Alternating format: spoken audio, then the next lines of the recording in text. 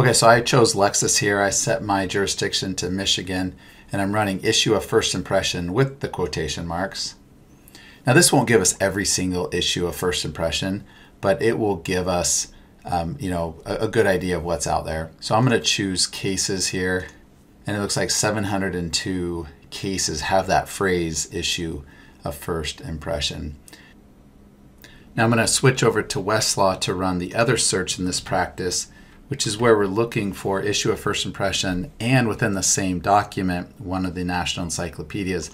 That's just a more sure way of pinpointing that we find a case where secondary authority was used to solve the, uh, the issue. And there's actually quite a, quite a few cases. I mean, this doesn't happen very often where secondary authority is used, but you still need to know about it as a, as a practitioner. And um, I, I like this Dow Chemical case. And they, they do a nice job. This is the Michigan Supreme Court. This is uh, from what, 2005. They do a nice job of stating the issue right up front. So they, they declare it as an issue of first impression, and then they say, you know, in a normal toxic tort case, somebody says coming in contact with a certain compound caused an injury.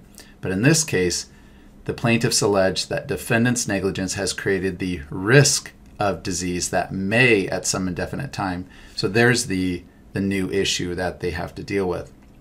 So as, as we quickly scroll through this, we can see how they they deal with it. And of course, they use a lot of authority from their own jurisdiction, from Michigan, but they also use authority from other jurisdictions.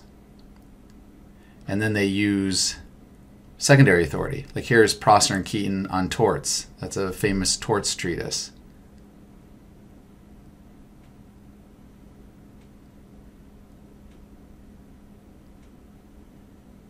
There's a federal case law Federal Rule of Civil Procedure, which is all a different authority, as in uh, not not binding authority. Here's a law review article they use to uh, to rely on it, and here's a second uh, law review article they use to to address this issue.